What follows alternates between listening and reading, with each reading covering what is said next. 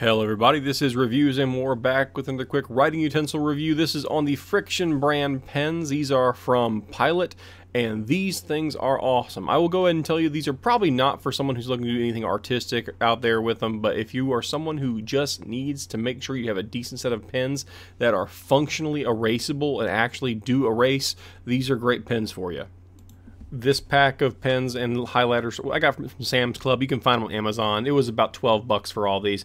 So they're not the cheapest things in the world, but they're also not super expensive. And this is a full color pack as well as a four highlighter pastel pack. And the highlighters themselves are also erasable, which is also pretty neat.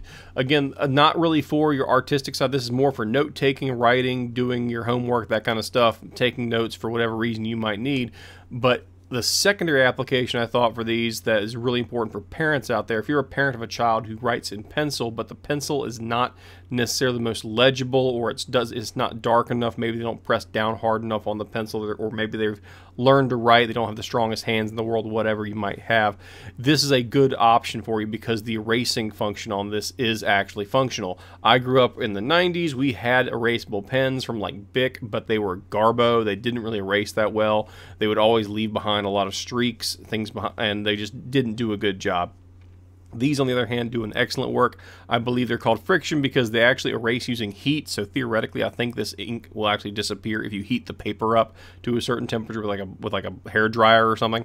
But they are perfectly functional. They are fairly smooth writing. They're not as smooth as other pens out there. If you're if you want to compare it to like uh, the Uniball One or the uh, your if you want to go Pilot brand, the G2. The G2s are smoother, but these still work great. But I think that has more to do with the type of ink they're using because it's a specialized ink that uh, is removed by the friction rubbing with the uh, little eraser backs, which aren't really erasers. They're just little pieces of silicone that are used for to create friction and heat.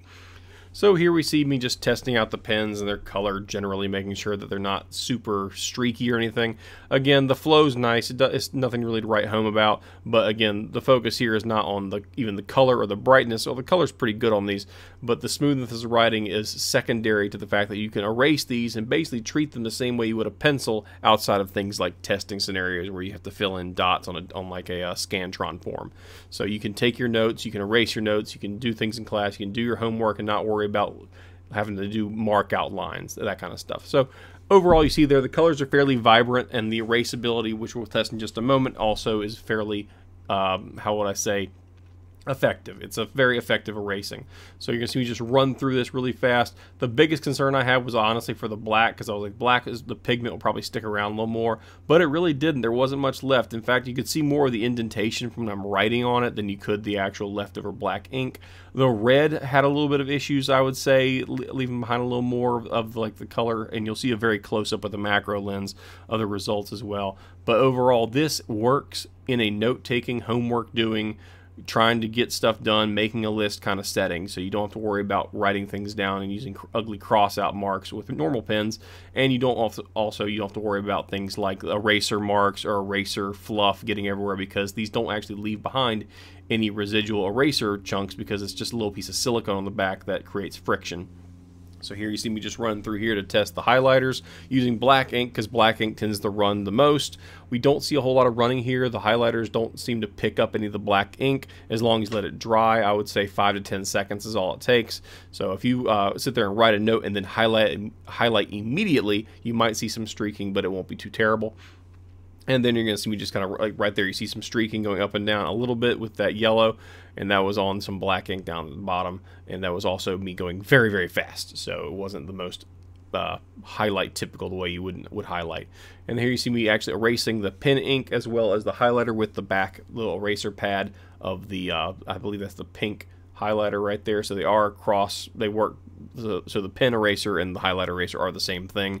So they're, again, they don't leave behind any chunks of eraser because they're, they're not like a rubberized eraser that leaves behind chunks and takes up the pencil lead or takes up the ink. It actually just uses friction to create heat that then removes the actual ink itself. So you see a little bit of the red there, just a tiny bit under the macro lens and then you'll see me actually test it out full blown real close here with the um, highlighted portion. Again, you see a little bit behind, but this is what you see up very, very close. This is not what you're going to see in a typical note-taking session or if you're doing homework.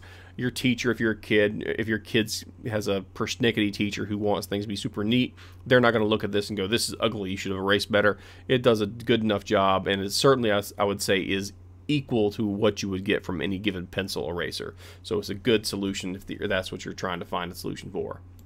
And real fast, here's some up close erasing just in real time, just so you can kind of see what's going on here, how quickly it runs through it. And overall, I'm shocked how good these are doing. They've been on the market for a while, but I hadn't used them because I hadn't had cause to have them. But these are great. Honestly, they're.